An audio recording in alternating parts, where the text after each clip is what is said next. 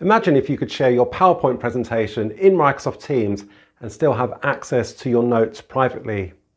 In today's video, I'm going to show you how right after this. Hi, my name is Tony and this is my channel Ready Steady Excel. If you want to learn how to master Microsoft and other applications, then by clicking subscribe and hitting the bell ensures that you never miss a future video like this. In today's video, I'm going to show you two methods. The first will be if you have your notes in PowerPoint and the second method is if you have your notes in another application like Word or in a PDF. Okay, are you ready? I know I am. Then let's go. Before you start sharing your presentation, go into PowerPoint and then go to slideshow. And you want to tick this box here where it says use presenter view. Now I recommend adding this to your quick access toolbar, which you can do by right clicking and then add to quick access toolbar and that will mean that option is there at the top. And if you're there at the top, no matter which tab you go to. The next thing you do is start your presentation. Now it's gone full screen, which is fine. We now want to presenter view. So to get to presenter view, if it hasn't come up already, just go down here at the bottom, just hover your mouse, click more options, and then click presenter view. So this is presenter view. So on this left-hand side screen, this is what the users will see or the attendees will see of your meeting.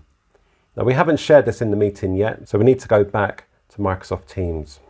Now if I minimize this window, it will just show me the PowerPoint presentation full screen. To get to Microsoft Teams from this window, we just press on the Windows key on our keyboard. In the description of this video, I will put the shortcut for the Mac users and Chromebook users. So I press the Windows key, brings up the start menu and I can see my taskbar and here I have Microsoft Teams. Hover here, click the meeting. So to share my presentation, I click share.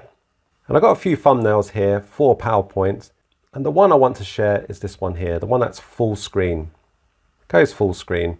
So everyone in this presentation, they only see this window. If I want to go back to Microsoft Teams, then I can click this window and that will take me back but if I want to click through the slides and see my notes at the same time, again, just press on your Windows key. This time we're going to hover over to PowerPoint. We want this window here. So there, I've got my slides. The one on the left is what the, the attendees will see. Got the next slide, and I've also got my notes for the current slide. And I can click through. And remember, the attendees only see this window here. Remember, at any point, if you want to go back to Microsoft Teams, just press the Windows key, you get your taskbar again, and it's just a matter of going back to Teams. So that's the first method. So let's have a look at the second method now. So this is if you have your notes in another application like Word. Before we start sharing our presentation, we first go to Slideshow, and then we go to Setup Slideshow. So we go to this option here, which stops the presentation opening in full screen. So click OK to this one. I'll now start my presentation. And the great thing about this view is that I can make the window smaller and then resize it. And uh, I can also resize this window too. So maybe I can have them side by side. And now when it comes to sharing, I go back to Microsoft Teams, go to my meeting.